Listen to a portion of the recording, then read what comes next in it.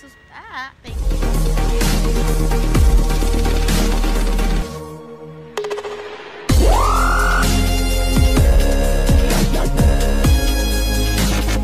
Hello guys! Welcome to my channel, Mariel Tolosa TV.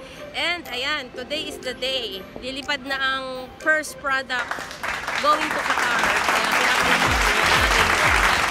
So, good luck sa aking ah, mahal na asawa. Ikalat mo ang ano dyan, ang blessing ni God. so, ayan, nakatapos na po kami. Napadala ko na sa kapatid ni Greta. Shout out kay Greta. Salamat at kay Kuya. Kuya, nalimutan ko ang pangalan. Ayan, thank you. Ang hirap para kami nag-hide and seek. Nandun sa Jollibee na sa arrival. Ako naman nasa Jollibee ng departure. Yan, sobrang kainitan. Ito pala ang tips para hindi mawalan sa isa ang ating pag-vlog ngayong araw na ito. Pag kayo ay luluwas at may dala kayong sariling sasakyan, make it sure na hindi lang siya naka-full tank. Dapat ayos lahat ang gulong, ang preno, lahat yan na-check. At syempre kailangan may extra kang pera. Huwag yung sakto lang kasi kung nagkamali ka ng ligo sa mga Skyway o sa mga SLEX, XLEX na yan, puro babayad ka ng babayad paulit-ulit dahil nakailang mali po akong liko. Kaya kumita ng malaki sa akin ngayon ng gobyerno. Ayan, ang aking kapatid, kasama ko ngayon. Si Luke, si Mark at saka si Peter. Tatlo po siya. Ayan guys, naglalakad na kami papunta sa sasakyan. Dahil kakatapos lang namin maibigay yung product ng FKC going to Qatar. Yuhu! Ayan, so guys, ako yung mamaya hindi na ulit nakakapag-vlog at ako yung nagda-drive. Mahirap naman mag-drive habang nagpa-vlog at baka ako yung maksidente.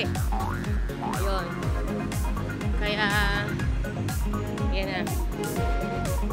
Pag hindi nyo alam sa mga first timer na lumuluwas, lalo na kapag sila ang nagda-drive, ay make it sure po na kayo ay nakatulog ng maayos, maganda ang mood, komportable ang suot, lalo na sa paa. Huwag yung masakit sa paa, katulad dito, nakatilis ako, di ba? Pero sakit sanay naman ako dyan. Tapos, kailangan talaga marami ka dalang extra pera, huwag yung sakto lang. Kasi once na sakto lang ang dala mo, at nagkamali-mali ka ng liko, lalo na sa Skyway, nakailang ikot kami, ay patay ang bulsa mo. Pag wala kang pambayad, hindi ka makakalusot. Hindi pwedeng sorry na po dahil kulang ang pera, hindi talaga. So, ayan guys, ang flag ng Pilipinas. Ayun, ang mga aeroplanong lumilipad. At ayan na, papunta na kami sa aming car.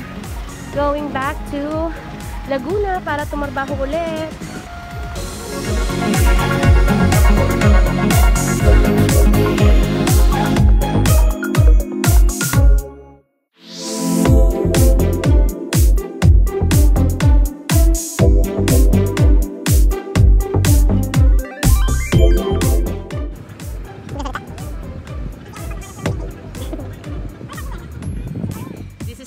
Short vlog para po sa documentation ng unang paglipad ng product ni FKC to Qatar.